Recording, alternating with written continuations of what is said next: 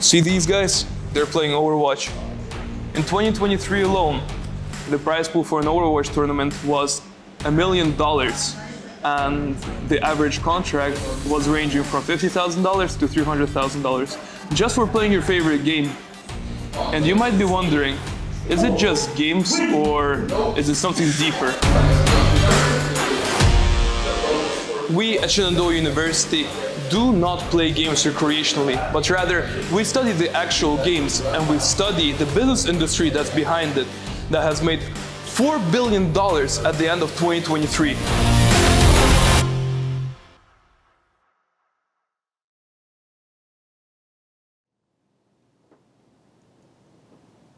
So anybody that's been around the industry for a bit, all, all we all have like just a collection of these Yep. these from events that we've been to. but we do it because the feeling that we get, the gratification, the passion from, you know, you seeing this and crazy play up on the main stage and the roar of the crowd and like I could just I'm like giving myself goosebumps, Yeah, man. it's amazing. How did you get into esports? From what age? What was your first video game and how did it carry on with your life? So it's interesting because I come from a different era than you. Uh, so it starts with my very first Nintendo Game Boy uh, back when I was five. I got it for my fifth birthday. And yes, What year was that? that was 1994. 1994. I Yes. wasn't even alive at that time. right. so, got my first Game Boy. Uh, my, you know, uh, my love for gaming kind of blossomed from there, and How's life? Great. Life is great. The Overwatch team is rolling so far, so I'm very excited. So we started a clan with our family, and so we would play almost every day together as a family. So that really started getting me kind of competitive and into improving at a game because you know you, you want to be the best in your family. So we all had a little bit of a rivalry going. So I have kind of an odd path into esports. So when I first started at Shenandoah, I wanted to be a, um, I wanted to go to physical therapy school, and then, you know, my first semester here was also almost like I think believe it's the second semester of the esports program. So it was, you know, the whole time I was here, I've always been a huge gamer. You know, I got to see the growth of this program, got to see it keep continue growing. So after two years in um, my exercise science program, I realized that I liked it. You know, I enjoyed the classes, but I didn't love it. So then I decided, you know, it's time for me to switch into esports because that's something I love. So, you know, if you don't love what you're going to do, you're not going to be great at it. So I figured it's time to switch. So I switched into that. So now I feel like my love of both has really combined and helped me try to be the best at both and teach others. Um, honestly, my first game, first competitive game I ever really played was Overwatch. I got it when I first came out on beta when I was a freshman in high school, um, and I've been playing it ever since. I've been absolutely in love with it. Um, during that first time while I was in high school, I jumped around a little bit with some different teams that I just met through friends or just organized with friends. Played in some little tournaments, but never really went anywhere. Oh, so Overwatch has really sparked this Mhm. interest in you of esports. So, what do you find so appealing in Overwatch that you want to spend thousands of hours playing that game? Uh, for me, it's the teamwork. It's being part of a team and working together to achieve the goal. Like, it feels incredible, even with completely random people. Uh, when you're all on the mics, all calming together, and you know you can be performing at your best. But even at your best, if your team isn't playing with you, there's nothing you can do. So it's on you to make sure that you're encouraging everyone on your team to play well and really bringing it all together. And that's why I fell in love with it. Well, I come from a soccer background, so I really like games that kind of go on for a long period of time with no interrupted flow breaks. So the kind of the game gets you push in and push out at the same time. Sort of different to CS:GO where there's a lot of stopping. It's more like football in that sense. Um, so I'm a big fan of the flow and especially teamwork where everyone has a role and you have to work together um, all the time. And if one person doesn't do their job, everything kind of falls apart. So I'm a big fan of all of those aspects in the same game. I could be biased, but Rocket League is definitely my favorite esport. You know, I think it's the best esport because it is the most simple. Everyone understands the concept of, you know, get the ball in the net. And you just use cars to do it. So that's why it's one of my favorites. But it also has an unlimited skill ceiling. So every year, like I would say, any pro team this year could pretty much destroy any pro team last year. Like they the progress and like the skill at which the game evolves is just so fast. So I think it's really truly hardly like impossible to master the game.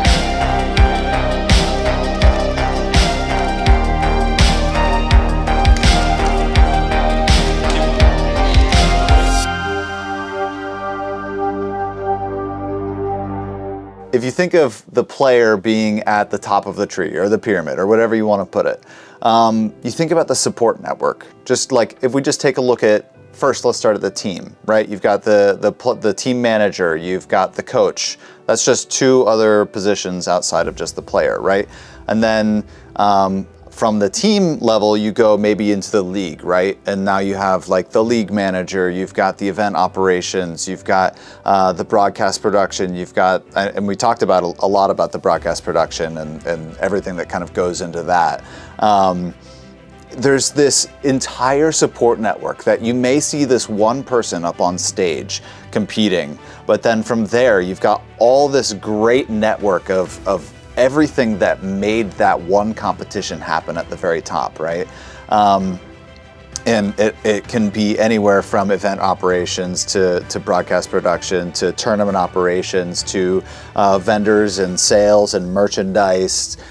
If you look at, you know, an MLG, HCS, um, CDL, any of these major operations, even Blast uh, that you mentioned earlier, um, just the next time you go to one of those events, just stop in the middle of the floor and just look at every single thing that's going on around you and know that there was a sound engineer, there's, you know, video cameras and camera operators, there's lighting technicians, just in the physical space, right?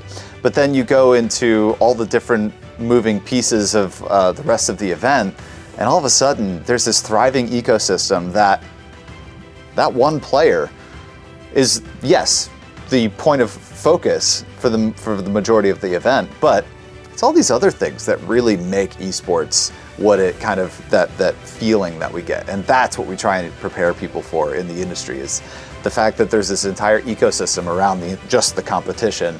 Um, and there's plenty of work to be done. So right now we're in the broadcast room of Shenandoah University and here the students actually apply their technical skills in softwares and in the actual game in order to create live streams where, which you can watch. So here we have vMix, which is basically what breaks down all the inputs that we're getting and enables us to send what the spectator is seeing to the stream and also to our replay tech who's sitting on my right. So the person on the right is able to get in-game replays as they're happening. That way when there's any breaks in the action, we can kind of recap what just went on and show them from a different perspective or slow it down so our casters can re-explain what they just saw to kind of help with for the average viewer to uh, follow each game when they're most pretty fast-paced. The next thing to show is probably in here, which is where our casters actually sit that we were talking about. So Right here we have our green screen and where the casters sit. We have both of their headphones and all the lighting equipment to make sure it looks good. This is the camera that records the casters.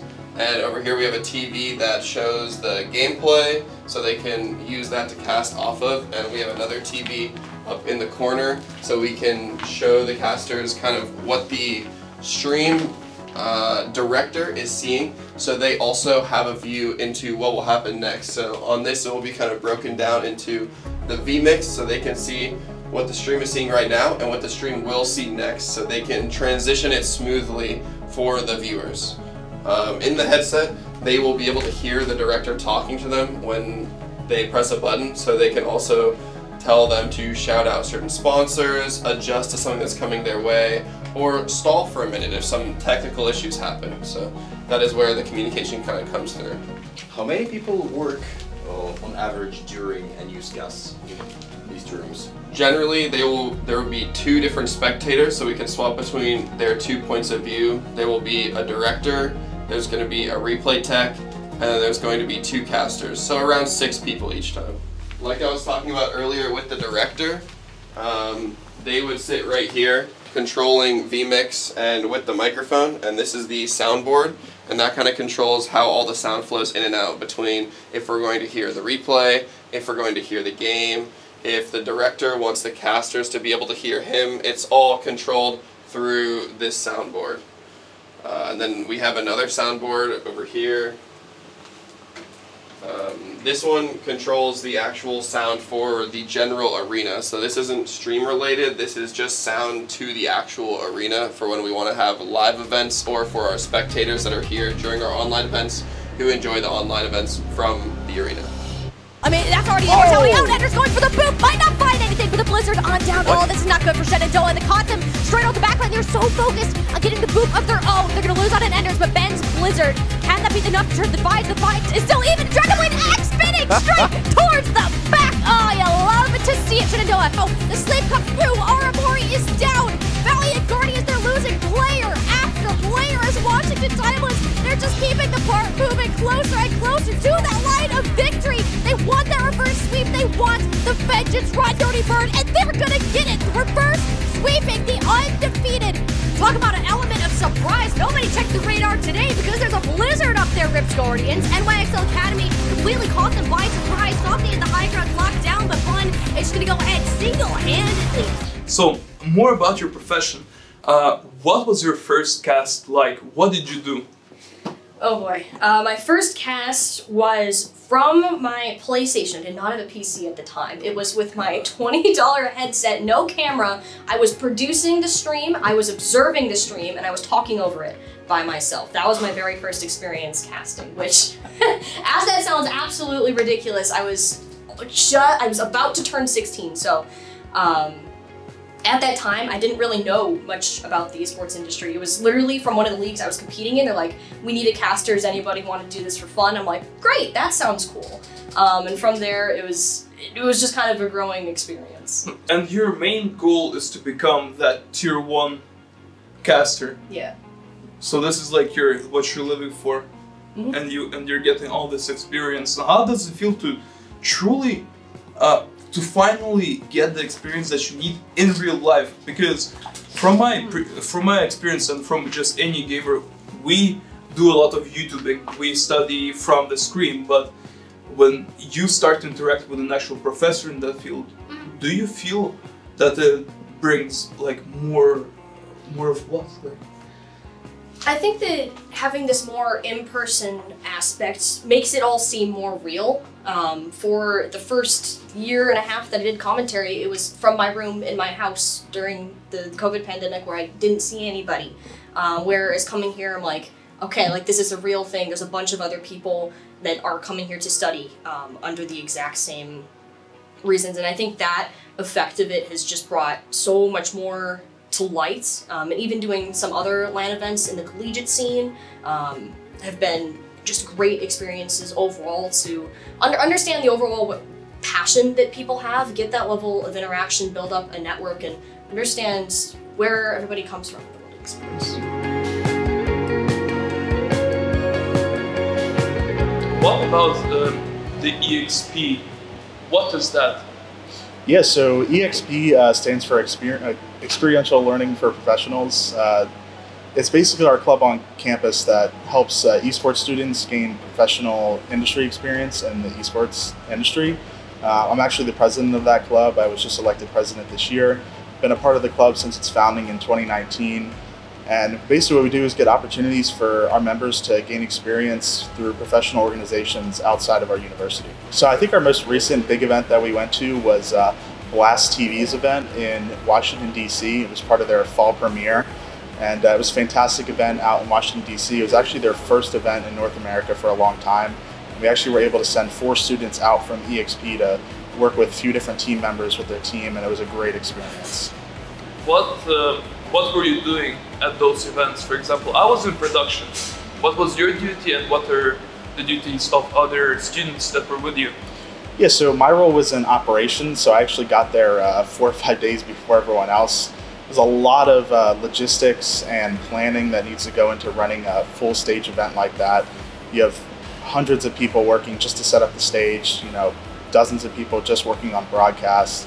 You know, it takes a lot of equipment to get in, to unload, to load back in, get everything cooked up, and have everything ready to go for the day. So I was kind of the oils on the gear for uh, for that event. So moving a lot of things around and uh, helping coordinate, uh, you know, staff and things like that. But do you think, connection, that that new jobs, new professions within the industry emerge like almost uh, every month, every happy? Do you think so?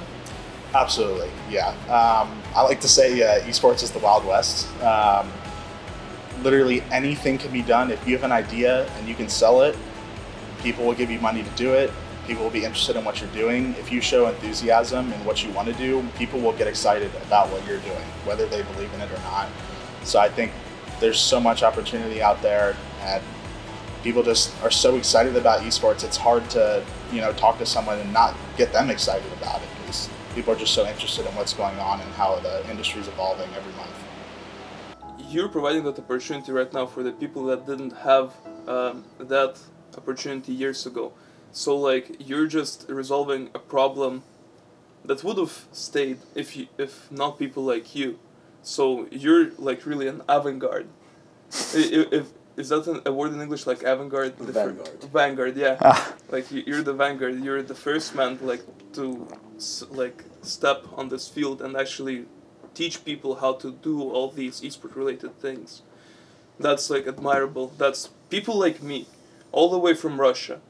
How many other people are like in South Korea or in China or in other countries which want to do esports, but maybe because of their parents' vision or because of school, that um, talent, that passion gets like pushed down inside them and lot, not let out into the public. That's how I felt for a long time. I couldn't just speak openly about video games. So, yes, you're really a vanguard, and thank you for doing what you do because for me, like, it's a life changer. You're like you're changing my life right now, and it really matters a lot to me personally, but also to many other students which are here right now and are coming to the program.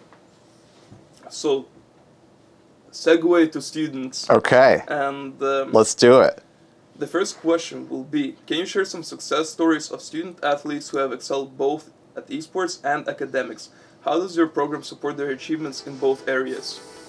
So, students that have succeeded in both competitive and academics. I mean, really, the some of the best players are some of my best students. And I don't know if it's because they're great students that makes them great players or if they're great players that makes them great students, but their dedication to either craft really shows throughout the way that they approach college and the reason that they're here. They they're awake and ready and eager to learn and engage with their environment. And so like this in the same way that traditional sports you have coaches that are uh, you know eager to encourage their student athletes to continue going to class and doing well in school because at the end of the day sports may or may not end up being their career. Um, it's just something that helps them stay focused and and build valuable transferable skills throughout their time in school.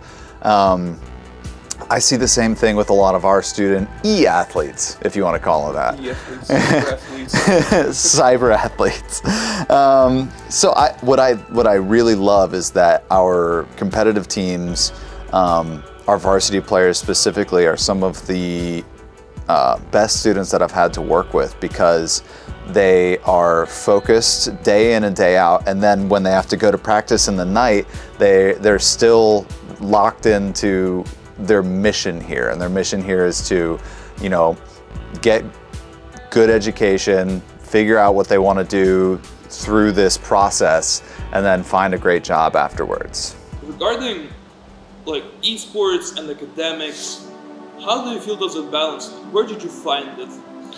Well, for me, I was always interested in getting into the other side of gaming because, as I said, I started getting competitive when I was really young. So after I joined that clan in, in World of Tanks, I ended up leaving my family's clan to join a very competitive one, and that kind of led me in the direction of learning more about esports and not just gaming for fun. So from there, I started joining like teams, creating teams, managing teams, and getting into the more behind the scenes aspect, learning how to run tournaments. So by the time I got to college, I was super interested in becoming more involved in the business side. And once there was an esports degree, I was right on board, transferred right away, and was very excited. So uh, I think that it's important to kind of balance the game playing. Uh, going to a college where there's teams and academics about esports, it's interesting to see how each individual kind of balances it. So I try to tie them together to make it more interesting for myself. I try to work a lot with the Overwatch scene and run tournaments focused on Overwatch so that I can make more connections in the game that I'm competing and coaching in. So for me, I just try to connect it as much as I can to keep my passion fueling my academics and career at the same time that I'm playing the game. You, you were telling like a story of how you transferred because of your passion. Mhm. What what was that final push for you when you decided that okay, this is a thing and I'm committing to it. It's risky, but I'm doing it. Uh, I think it was the fact that right before I transferred, I was coaching an Overwatch team online, and they were actually really good. Uh, at least half of the team got picked up after they started to disband into like the semi-professional level. So they were very good, and I it kind of made me very sure that I wanted to continue pursuing coaching. And I thought that the next step in pursuing coaching was being able to coach a team in person. So that's what really made me want to come to a school with esports. I initially went to a different school, um, but that school ended up not really working out, so I transferred here. But they just had an esports team, and so I was just interested in the esports team aspect. But as I got more and more involved, I realized that I might as well go all the way in and come with the academics and the team. But the main push was definitely being able to coach a team in person and have kind of full control over the team because online you don't really have much control about what they do outside of the game. You can tell them what they should be doing or ideas, but you don't really have that much control or oversight. You can only really see what's happening in the game. Your your hands are literally untied when you have people right next to you and you can come Yep. up to them and say like you have to get better. You'll have to study this, this, this, and we're gonna do it together. And the person doesn't really have a choice, so he either competes or he doesn't compete. And uh, you ma- you manage to to have a team that are consistent and that are performing really good. Yeah. And so that's already a really great achievement and a great start for a like a, a real life coaching. So if if somebody is, for example, in the Overwatch League, they're like, hey, listen, Ethan, Houston Outlaws, uh, they need a coach. Maybe he can pick up this guy. So you're there.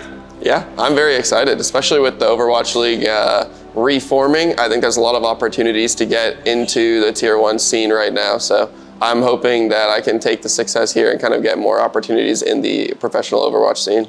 the great thing about esports is it's you know just like any other industry if you're great at marketing if you're great at sales if you're great at um, you know video production esports isn't going anywhere and it all the same skills transfer over into that industry. So like if you decided that one day you wanted to go into you know film production in new york city like myself um, you can do that, but then also there's also esports waiting for you if you want it, if you're passionate about it, if you love it, if it gives you that same goosebump feeling that you and I just shared a little bit ago, then maybe it's for you. If we're talking about that those those key moments that kind of really burn in our souls, um, then maybe it's for you. Like it's not just like any hard job. It's not going to be an easy road. It's not going to be something that, you know, everybody's going to want to do day after day. But if you love it, if if esports and gaming is for you and, and you want to see an industry thrive and you love the roar of the crowd and you love all the different little pieces that go into what esports is, then then I think maybe you want to be a part of it, right?